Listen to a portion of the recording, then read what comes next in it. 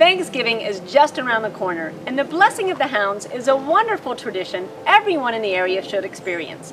Foster really isn't invited though, as it is for just foxhounds, but even so, you won't want to miss it.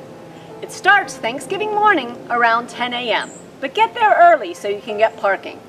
This year, the blessing will take place at Buchan Field on North May and Mile Away Farm Lane.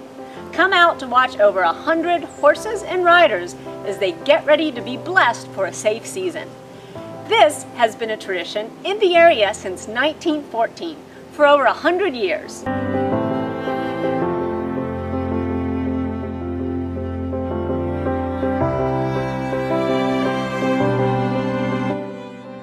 A newer tradition, now 13 years old, is breakfast at High House Farm. This is where Foster and all of his brothers and sisters and Noel and I live.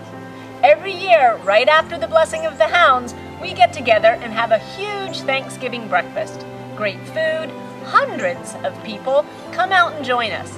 We visit, enjoy a fun morning of friends, a bonfire, cornhole, and a great breakfast with Noel's mom's famous Russian bourbon tea.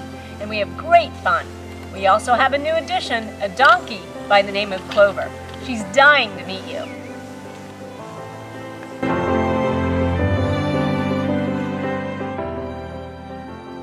Please bring all of your Thanksgiving guests. The more the merrier. We usually have about 300 or so, so don't be shy about bringing guests.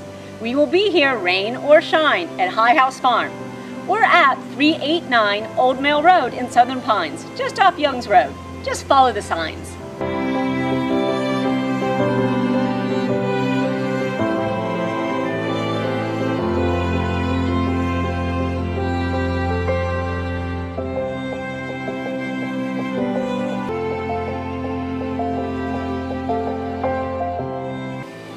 Start at 9.30, so even if you don't go to the Blessing of the Hounds, come by our house, High House Farm, for breakfast.